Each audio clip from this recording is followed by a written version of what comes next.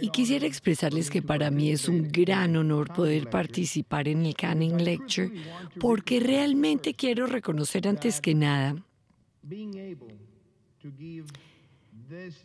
que poder dar esta charla, que tiene el nombre de George Canning, tiene un gran significado para Colombia. George Canning fue una gran inspiración y también fue alguien que apoyó muchísimo el proceso de independencia de nuestros países. Debo reconocer que fue él quien hizo ese gran esfuerzo por reconocer esos nuevos estados emergentes como la Gran Colombia. Y también debo reconocer que él hizo una descripción muy importante de la valentía de tantos británicos e irlandeses que participaron de manera voluntaria en nuestras batallas de la independencia. Apellidos como el Rourke, apellidos como Dumaining, Devon, Elton e incluso uno de los más grandes, eh, Daniel O'Leary, que lucharon de la mano de Bolívar por la independencia y Londres también tiene un significado muy importante para nosotros. Esta ciudad acogió a Francisco Miranda, a Andrés Bello, incluso a, Andrés, a Simón Bolívar, antes de volver a luchar por nuestra independencia. Este año vamos a celebrar nuestro bicentenario. Y es gracias a eso que también quisiera expresar el agradecimiento del pueblo colombiano, porque fue el embajador Hurtado en 1825, primer embajador latinoamericano reconocido en Londres, y él vino a pedir ayuda.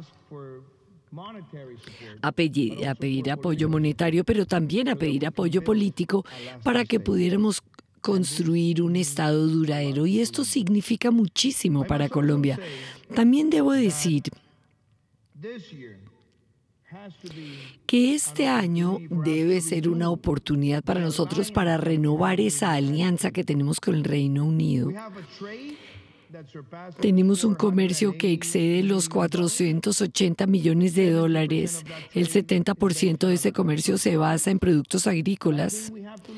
Pero creo que debemos mirar más allá. Queremos poder participar de manera más activa en la economía de servicios, en la economía creativa, en la economía industrial. Y debemos mirar también para buscar nuevas fuentes de ingresos, porque Colombia también está haciendo grandes apuestas que voy a escribir en detalle en donde el Reino Unido puede ser no solamente el socio adecuado, sino también el líder adecuado para que seamos exitosos.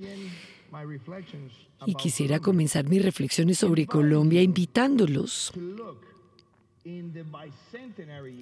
a mirar en este año del bicentenario, a mirar a los siguientes 200 años de Colombia. En primer lugar, somos un país que se puede escribir con una sola palabra, resiliencia. A lo largo de nuestra historia, hemos debido luchar muchísimos momentos turbulentos, momentos de angustias económicas, momentos de desesperación social e incluso momentos de grandes violencias. Pero lo que hace que el pueblo colombiano sea tan valiente es que como nación podemos convertir cualquier dificultad en una gran oportunidad. Y ese es el motivo por el cual al ser un país que está en medio de una geografía muy compleja, hemos logrado tener más de 30 ciudades con más de 150 mil habitantes. Hemos logrado convertirnos en grandes productores industriales, incluso estando lejos de los puertos. Y hemos logrado conectar los diferentes sectores, sectores con el mundo, no solamente con nuestro café y con nuestra minería, que es algo tradicional en nuestra historia, sino también hemos logrado que Colombia sea el mejor lugar para la tecnología y esto en los últimos cinco años, el mejor país en Latinoamérica. Entonces yo quiero explicarles hoy por qué Colombia debe acoger este gran cambio en los siguientes años y es porque en primer lugar en este momento tenemos una enorme oportunidad.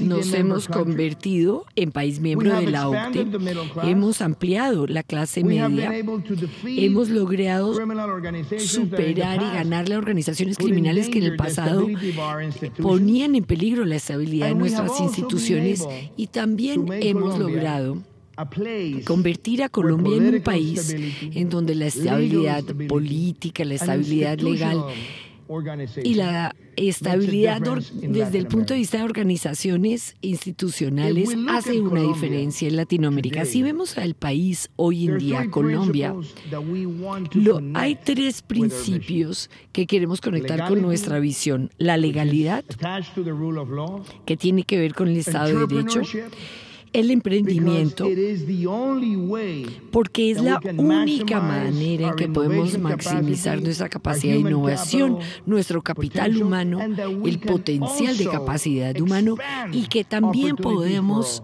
podamos expandir las oportunidades para todos. Y el tercer elemento es la justicia.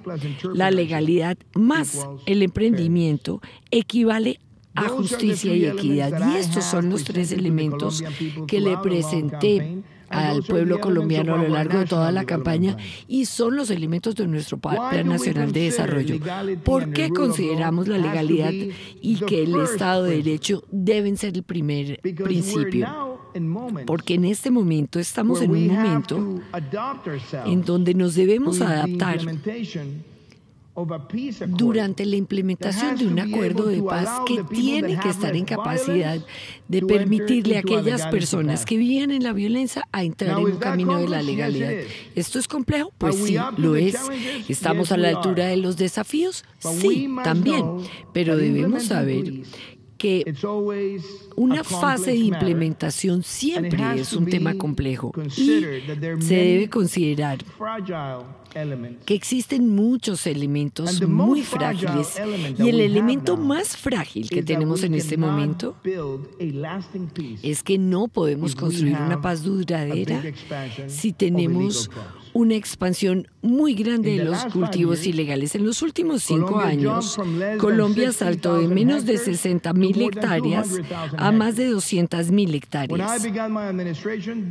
Cuando yo comencé mi administración, estas son las cifras que teníamos cuando llegué a la presidencia. Y en ese momento tuvimos que tomar pasos muy importantes y yo estoy seguro de que tomamos las medidas correctas. A lo largo de estos 10 años de la presidencia, hemos erradicado más de 60 mil hectáreas. Esto es aproximadamente equivale al tamaño de la ciudad de Chicago, de la ciudad de San Francisco. Es aproximadamente más de 132 mil campos de fútbol que han sido erradicados de manera manual. La cantidad de incautaciones que hemos logrado en los últimos 10 meses equivalen a las utilidades generadas por BP por Goldman Sachs en el año 2018. Y también logramos desmontar más de 4.000 laboratorios. Extraditamos más de 116 narcotraficantes y vamos a continuar en este sentido. Porque si queremos construir una paz duradera en Colombia, los cultivos de coca hay que acabar con los cultivos de coca en su totalidad. De lo contrario, vamos a seguir viendo nuevos grupos criminales tratando de asumir el control de los territorios y de los municipios. Y ese es el motivo por el cual decidimos que la seguridad se debe concebir como un principio democrático, como un valor democrático y como un bien público que se debe repartir y expandir a lo largo del territorio. Pero esto también implica que debemos acabar con otras fuentes de actividades eh, criminales que están generándole un gran daño al medio ambiente. Y estamos hablando acerca de la minería ilegal. Estamos hablando acerca de aquellas estructuras presentes en Brasil, en Bolivia, en Perú, en Ecuador y también en Colombia. Y que están virtiendo mercurio en nuestros ríos. Por eso también adoptamos una política para enfrentar ese desafío. Y cuando pensamos en la legalidad, también debemos empezar, eh, debemos luchar contra la corrupción y por eso estamos haciendo un llamado a la comunidad internacional para que tengamos una cooperación más decidida para ponerle un fin a las organizaciones criminales transnacionales que con los sobornos quieren llegar a controlar todos los contratos públicos en Latinoamérica y eso lo vimos recientemente en Colombia en otros países. Pensando en la legalidad, también dimos un paso importante en lo que respecta denunciar la dictadura en Venezuela. Cuando yo estaba, era senador, y denuncié a Nicolás Maduro ante la Corte Penal Internacional y dije que si yo en algún momento llegaba a ser presidente de Colombia iba a llamar a los jefes de Estado para que se unieran a mí en esta denuncia. En este momento ya tenemos nueve jefes de Estado que hicieron esa denuncia posible y también le pedimos al secretario general de la OEA que se uniera. Y él se unió y presentó ante la Corte Penal Internacional un informe importante y contundente que le muestra al mundo todos los crímenes de lesa humanidad que se están cometiendo de manera sistemática y están siendo promovidos por Nicolás Maduro. Y la gente me pregunta, pero usted, ¿por qué quiere poner eso en la agenda de la legalidad? Y permítanme utilizar para esto un ejemplo. Los países tienen y deben comportarse siguiendo unos principios muy importantes. Y es lo mismo como si cualquiera de nosotros estuviéramos viviendo en un apartamento y todas las noches el vecino de apartamento golpea a su esposa y a sus niños y uno oye por las paredes los gritos del apartamento de al lado. ¿Cuál es la posición moral? Levantarse al otro día en la mañana, decir buenos días y no involucrarse? ¿O será que uno debe denunciar ante las autoridades para impedir que ese crimen continúe, que ese delito continúe? Y ese es el motivo por el cual tomamos esta decisión, tomamos esta posición y no vamos a seguir por el camino fácil. Porque cuando la diplomacia no tiene principios, acaba convirtiéndose en una hipocresía. Y nosotros vamos a continuar denunciando todos aquellos delitos y vamos a continuar defendiendo ante la comunidad internacional al pueblo venezolano hasta que llegue a su libertad, hasta que la alcance. Y cuando se trata de la legalidad y pensando en Venezuela, también debemos pensar en los miles, cientos de miles de personas que están teniendo hambre, que tienen frío, que no han podido tener un acceso a una vacuna en años. Y nosotros decidimos que si queríamos defender la legalidad y si queremos ser coherentes con los anuncios que hemos hecho respecto a la dictadura, también debemos adoptar una política migratoria que se base en la fraternidad y no en la xenofobia, que se base en reconocer que nuestros hermanos del país vecino llegan a Colombia buscando refugio, buscando comida. Así que decidimos que aunque sabemos que esto genera una presión fiscal y social muy importantes que debemos mostrarle al mundo que la fraternidad sí puede ser una política muy sólida cuando se trata de manejar la migración. Y hemos recibido más de un millón trescientos mil venezolanos en nuestro territorio. Y permítanme ponerles esto en contexto. En el caso de Europa, en el caso de un país como Alemania, Alemania recibió 1.500.000 refugiados sirios en cinco años. y Alemania tiene un ingreso per cápita de 30 mil dólares. Colombia tiene un ingreso per cápita de menos de 8 mil dólares. y hemos recibido casi un millón y medio, 500 mil refugiados en tres años. ¿Esto genera un desafío? Pues claramente lo hace, pero decidimos desarrollar una política organizada para poderle dar la bienvenida a esos refugiados, para permitirles tener una transición en Colombia y también para permitirles trabajar con unas políticas laborales sólidas para no acabar con los puestos de trabajo de los colombianos y hemos sido exitosos hasta este momento. Pero con este tipo de política, este tipo de política también representa un camino de legalidad para manejar una de las crisis más difíciles eh, en Latinoamérica en los años recientes. ¿Y por qué conecto la legalidad con el emprendimiento?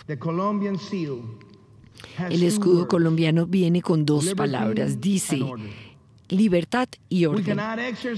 No podemos ejercer nuestras libertades si no hay orden y no podemos ejercer nuestras libertades si no tenemos un Estado de Derecho bien implementado para que nadie pueda amenazar el derecho de cualquier ciudadano de expresar sus creencias, sus conocimientos y para crear su propia manera de vivir. Así que yo considero que para nosotros poder construir el tipo de paz que necesitamos, esa paz se debe basar en la justicia. Y algunas personas que yo conozco les encantaría preguntarme si realmente estamos implementando los acuerdos de paz. Porque yo sé que en la política siempre existe la oportunidad de que algunos cambien el curso de los eventos, el curso de los eventos adecuado.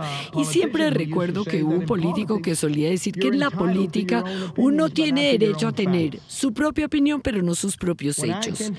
Cuando yo asumí la presidencia en agosto del 2018, el proceso de paz con las FARC llevaba 20, años, 20 meses de ser implementado y nosotros llevamos solamente 10 meses en la presidencia. Y lo que sí les puedo decir es que en estos 10 meses hemos hecho un progreso muy importante en lo que respecta manejar a las personas que están en el camino de la reincorporación. Cuando yo asumí la presidencia solamente había dos proyectos colectivos que estaban adoptados para aquellas personas, en, eh, para que las personas que se estaban reincorporando encontraran una manera de sobrevivir. En este momento ya hay 25. Al llegar a la presidencia solamente había dos planes regionales de desarrollo que se habían acordado con las comunidades. En este momento ya hay 16. Cuando llegamos a la presidencia, ninguno de los municipios de aquellos planes regionales de desarrollo tenían una política de cada catastro que se hubiera adoptado para poder dar los títulos de las tierras, para permitirle a las personas a utilizar estos títulos de tierras para ser más eficaces en la producción agrícola. En este momento ya no solamente tenemos una política, sino que estamos, queremos pasar de menos del 20% de un catastro actualizado a un nivel del 60% de aquí al final de la presidencia. Y eso va a tener un impacto enorme, porque vamos a utilizar un esfuerzo multidimensional en aquellas regiones muy afectadas por la violencia para saber. Entonces sabemos que el catastro debe estar enlazado y que no solamente debe describir el tipo de población, sino el tipo de intervención necesaria para hacer una transformación importante en las áreas rurales, para tener los permisos de agua, las carreteras terciarias, la conectividad y también para permitirle a que todos los campesinos se vuelvan partes de eh, miembros de cooperativas y poder vender sus productos sin intermediarios, teniendo acceso no solamente a la financiación, sino a los microseguros para que no queden expuestos a los malos efectos climáticos. Todas estas cosas están sucediendo ahora que venimos a discutir los esfuerzos de la legalidad. El segundo elemento que quería plantear ante ustedes tiene que ver con el emprendimiento.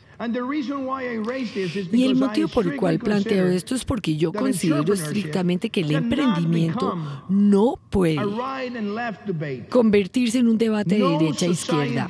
Ninguna sociedad puede avanzar si no le permite a la iniciativa de los ciudadanos a acoger a una, unas empresas de microempresas, empresas pequeñas, medianas y grandes, y hay que establecer las garantías de la competencia y hay que tener las regulaciones adecuadas para que las empresas y los negocios puedan crecer y es solamente a través del desarrollo de negocios que se pueden generar los, em, el empleo formal que se necesita. En un país como Colombia, el 50 ciento de la fuerza laboral es informal.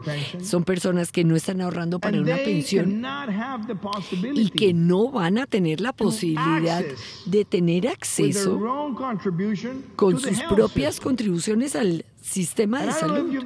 Y no sé si ustedes alguna vez se lo han descrito de esa manera, pero en Colombia tenemos 22 millones de personas que se consideran fuerza laboral.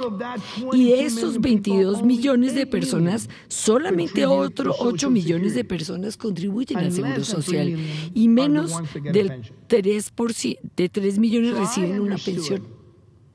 Entonces yo entendí que si no teníamos una política empresarial sólida y ambiciosa, no íbamos a poder generar un cambio bajo esas circunstancias. ¿Y por qué esas circunstancias se fueron perpetuando a lo largo del tiempo? Porque teníamos altos niveles de tributación corporativa. El 87% de la recolección del impuesto de renta se genera solamente con 8.000 empresas en Colombia. O se generaba, estas tasas las debíamos bajar para que hubiera una mayor inversión, para poder ampliar las oportunidades en el territorio, pero también dijimos que las personas iban a tener que pagar una mayor cantidad de impuestos si tenían ingresos mayores. Así que hicimos un cambio y en este momento ya redujimos la tributación agregada sobre las empresas y hemos, nos hemos convertido en uno de los países más competitivos en Latinoamérica. También hicimos posible que se le hiciera un descuento del 100% sobre el IVA para la compra de bienes de capital también hicimos descontable el 50% de los impuestos locales y también creamos las oportunidades para que nuevos empresarios, para que nuevos emprendedores recibieran un 0% de ingreso de impuesto de la renta sobre los primeros cinco años generando una cantidad mínima de inversión y una cantidad mínima de puestos de trabajo. También dijimos que si la gente quería ir a las áreas rurales y quería construir nuevas empresas, iban a tener un cero impuesto de renta durante un periodo de 10 años, generando una cantidad mínima de puestos de trabajo y desde luego generando una inversión mínima. Y estas cosas están generando cambios y de hecho and how cuando miramos a cómo finalizó el 2017, en ese momento el crecimiento era del 1.4%. El año pasado terminamos con un crecimiento del 2.8% y en el pronóstico es que este año vamos a crecer un 3.5% que está por encima del promedio mundial y por encima del promedio regional. En este año tuvimos una el primer trimestre una inversión directa del 67 eh, que creció un 67%. Y esto significa que estamos creciendo, pero también dijimos que debemos diversificar nuestra economía. No es solamente petróleo, gas y minería los que han generado este crecimiento en el primer trimestre de este año. Esto estuvo distribuido en diferentes sectores, turismo, servicios. El año 2018 fue el mejor año de turismo en nuestra historia. Más de 1.400.000 visitantes en Colombia y este año vamos a exceder esta cifra. Colombia está abierta para los negocios y está abierta para los negocios porque creemos que es a través del emprendimiento que podemos lograr una transformación masiva, social, masiva. Y debo decirles esto. Los peores errores que hemos visto en política económica en Latinoamérica se han dado en aquellos países que se han dedicado y, que sus, y cuyos gobiernos se han dedicado a satanizar la inversión privada o que han visto el sector privado solamente como una fuente de ingresos, taxando, eh, tributándoles cada año, cada día, hasta que la empresa pierde toda su competitividad. Y nosotros en ese momento tenemos una visión contraria a esto, pero también sabemos que si queremos promover el emprendimiento, necesitamos una política fiscal sólida. Ese es el motivo por el cual este año vamos a terminar con un déficit fiscal del 2.4% y permítanme decirles esto, el primer superávit que, va, que ha habido en los últimos ocho años y esto demuestra que con una baja inflación y con altos niveles de inversión haremos que este cambio sea posible y eso lo estamos haciendo en este momento. En este momento, cuando combinamos la legalidad con el emprendimiento, yo creo que esto tiene que equivaler a justicia y equidad, porque uno de los otros errores que han cometido los países en Latinoamérica es que ellos han querido cerrar las brechas y han dicho que esto es una fuerza ideológica y han tendido a sanatizar, a satanizar también las políticas sociales. Y en nuestro caso, nosotros queremos que esto sea un equilibrio.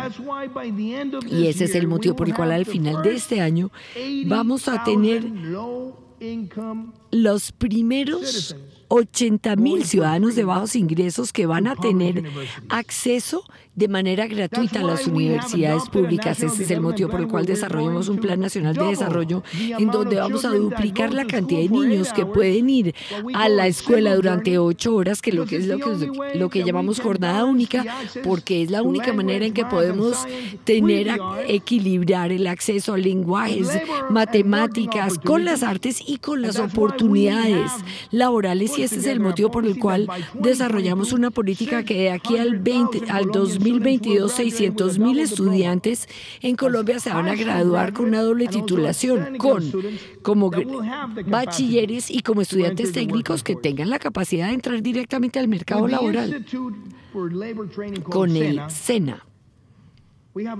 Con el Instituto SENA también pronosticamos que si queremos llevar nuevas técnicas y nuevo contenido a aquellos niños que van que se van a transformar. Por eso nos estamos enfocando en analítica de datos y la codificación como parte de los elementos que estos niños deben adoptar eh, mirando hacia el futuro. Pero también reconciliamos la idea de justicia con emprendimiento con un solo elemento. Los, hay más de 1.800.000 ciudades en el mundo y solo cinco de ellas tienen un centro de la cuarta revolución con el Foro eh, Económico Mundial. Y el primero de estos en un país de habla hispana se inauguró en Medellín, Colombia, hace un par de semanas, porque nosotros queremos acoger la tecnología del blockchain, de la inteligencia artificial para poder compartir la idea, el contenido, los elementos de aprendizaje y acogerlos como una oportunidad masiva para todos nuestros estudiantes.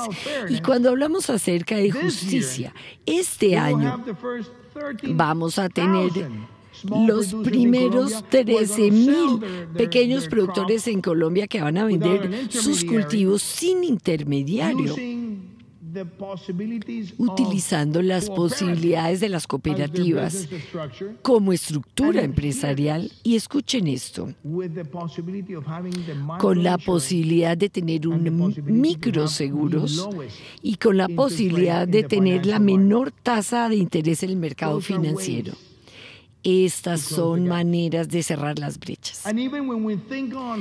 E incluso pensando en acceso financiero, en este momento estamos armando un conjunto de instrumentos en donde las familias que antes estaban condenadas a ser eh, arrendatarios durante todas sus vidas, en este momento ya tienen la capacidad de convertirse en dueños pagando el mismo monto que pagaban por el arriendo para convertirse en dueños dentro del sistema financiero.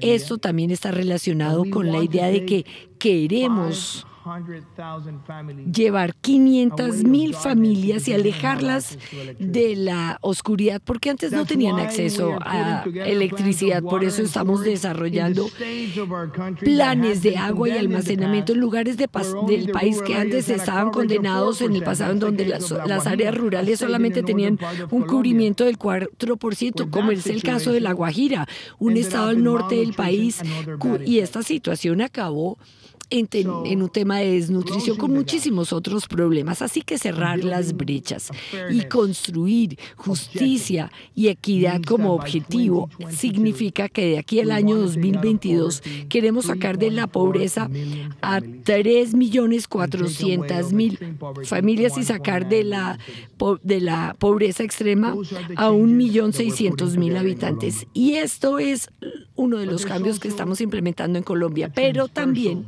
hay un elemento transversal que quiero resaltar hoy aquí en el Canning House. y tiene que ver con el medio ambiente. No puede lograrse ningún desarrollo si el desarrollo se logra afectando el medio ambiente.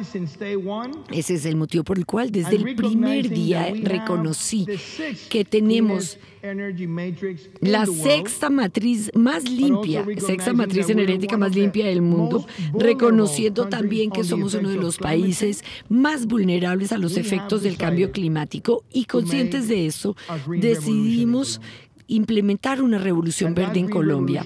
Y esa revolución verde comienza teniendo el aumento porcentual más grande en la participación de las energías no renovables no convencionales. Esto quiere decir que cuando llegamos a la presidencia teníamos menos de 50 megavatios de capacidad instalada. Y en este momento duplicamos en solo 10 meses, duplicamos los proyectos solares o eólicos.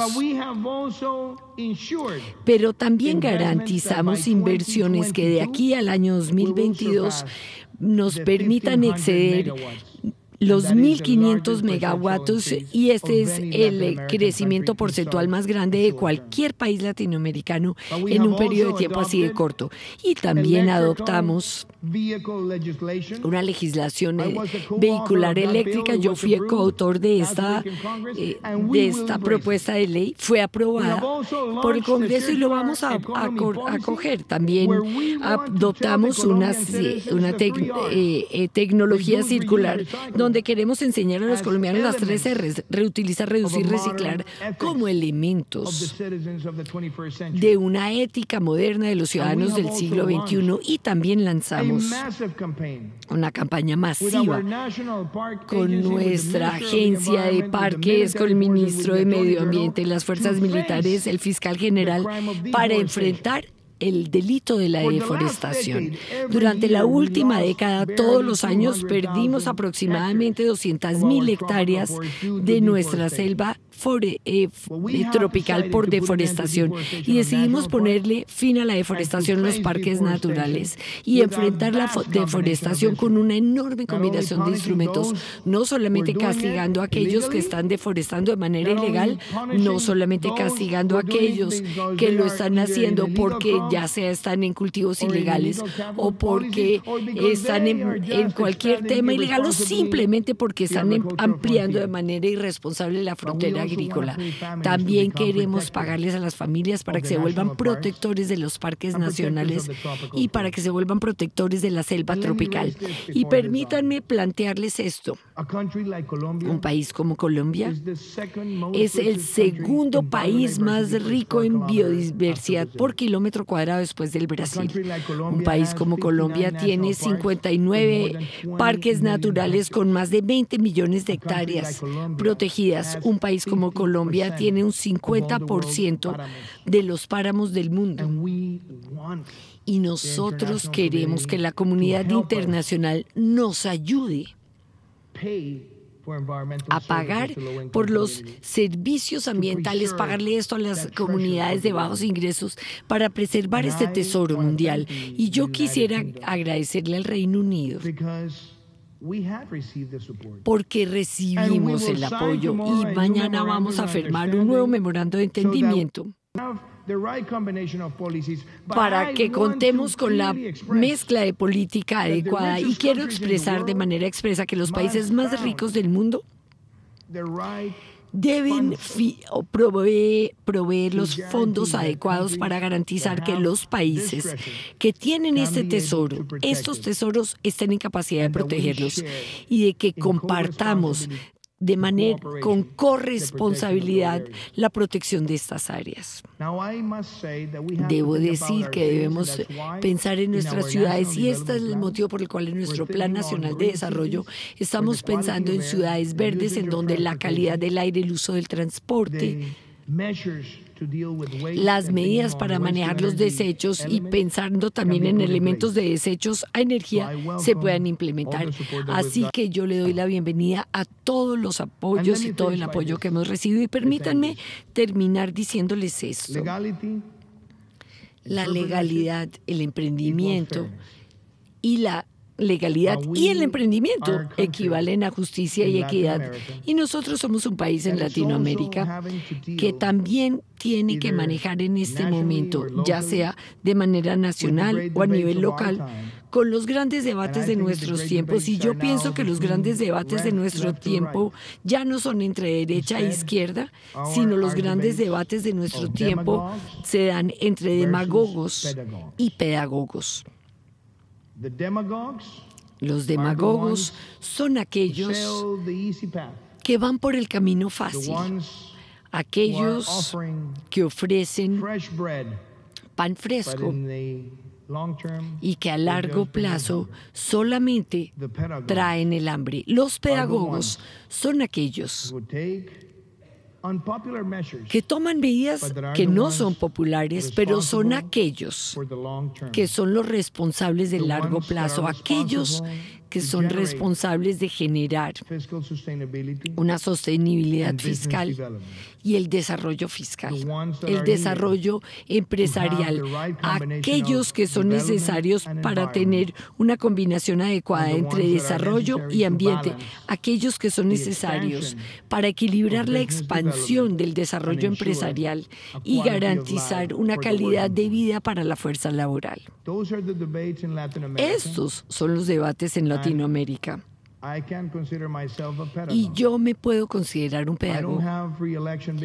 No tengo una reelección ante mí e incluso si la quisiera, nunca consideraría ninguna medida que se pueda convertir en una ventaja a corto plazo y un daño a largo plazo. Pero tenemos que estar con los ojos abiertos ante la evidencia que tenemos en la región. y tenemos que saber que muchos países están en peligro porque los pedagogos, los demagogos quieren quedarse con la política. Nosotros en mi país somos políticos responsables, pero también tenemos la amenaza de la demagogia. Y estoy muy convencido de que si llegamos a los resultados que le planteamos al pueblo colombiano, estoy seguro de que si logramos lo que queremos lograr en el desarrollo empresarial y también en nuestra política de equidad y justicia, vamos a demostrar demostrarle no solamente a nuestro pueblo, sino al resto de la región de que este es el camino correcto. Colombia está marcando una diferencia y queremos seguir marcando una diferencia y queremos trabajar conjuntamente con el Reino Unido para hacer las cosas mejor en el día a día. Hubo muchos eh, primeros ministros británicos que han tenido una influencia muy grande en Colombia. Yo debo decir George Canning, que George Canning, quien fue un maravilloso líder, fue el constructor de una relación tan fuerte con Latinoamérica, pero sobre todo él puso a Latinoamérica ante los ojos de todo el Reino Unido. Hoy en día quisiéramos hacerles un hacerle un reconocimiento y yo vengo aquí a decirles que queremos perseverar con el legado de George Canning. Muchísimas gracias.